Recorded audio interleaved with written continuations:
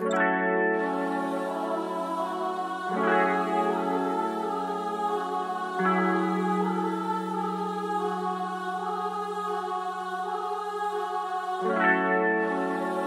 know, a wise man once said.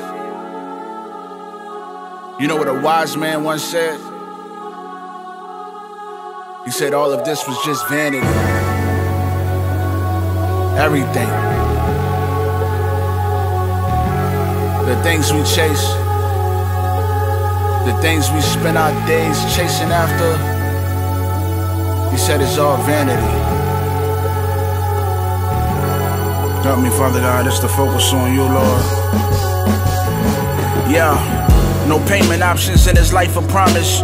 Holy scripture told the future before Nostradamus. And faith is the currency that keeps us out of bondage. Binge watching sound doctrine is how we make deposits. Witness when they recreate his image, drawn up composites. Change the color of his skin, the establishment is for profit. I used to want a chain, not for nothing, but to let the head of Jesus hang from it and be stylish. But doesn't it seem like somebody just said off with his head, like a symbol of defeat that we wear? Isn't it clear? Decapitation is the prove your opponent is dead. So what's our fascination with these golden souvenirs? None of us can identify the face of the Messiah. So we took the head of Caesar Borgia and severed hairs and wear it like a pendant, independent of fear, complete lack of conviction. Let the truth enter our ears. He said to never make an image, but we made an image. Turn the living God into a false idol and praised them with it. Ain't no Jesus piece around my neck. That piece will never reflect Yahushua HaMashiach, God's living word in the flesh. We are the image of God. Don't let the devil finesse you and paint a portrait of lies for you to take a picture next to. He can never bless you, our treasure in earthen vessels. The treasure outside of us cannot compare on any level.